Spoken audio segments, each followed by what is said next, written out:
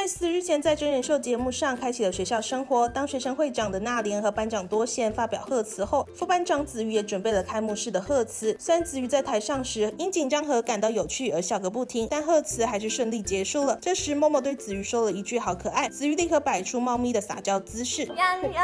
突如其来的撒娇让成员们惊讶又爆笑不已，多贤甚至兴奋到站起来鼓掌，全场气氛非常热烈。看到这场景的粉丝们也纷纷表示，这次的子瑜可爱度爆表。米娜感到惊讶的。表情也太可爱了，连多贤都忍不住站起来鼓掌了。子瑜展现可爱的撒娇，让粉丝们兴奋不已啊！